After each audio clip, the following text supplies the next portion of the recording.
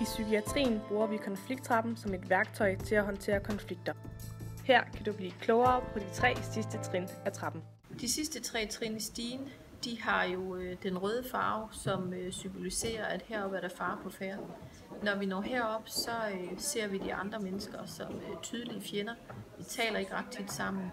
Det, som er noget af det, vi kan være opmærksom på, når vi er her, det er det her med, at man kan danne sig alliancer. Man finder nogen, der mener det samme. Altså, jeg, sy- det er der, hvor jeg synes, det er ufagligt, og det er uansvarligt. Altså, det er sådan, vi, jeg tænker, vi er nødt til at gøre en eller ved det.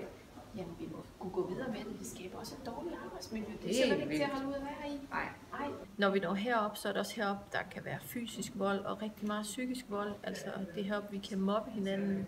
Øhm, og det ender med, at, øh, at vi forlader stedet. Enten så bliver man fyret, eller man går derfra, eller i værste fald kan man, så kan det ende med, at man bliver nødt til at fastholde patienten og spænde dem fast, hvis det er, hvis det er i en, i en voldsom opkørt situation. Ja, og altså, så må, altså, så må hun finde et andet sted at være. Ja. Altså, hvis hun ikke kan arbejde sammen med os på den måde.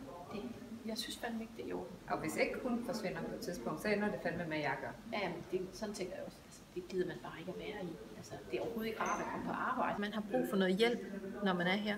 Man har brug for, at der kommer en tredjepart ind øhm, og, få, og får etableret en kontakt igen. Fordi hvis vi ikke får en kontakt og en dialog, så, øhm, så kan vi ikke få, få konflikten eskaleret nedad igen.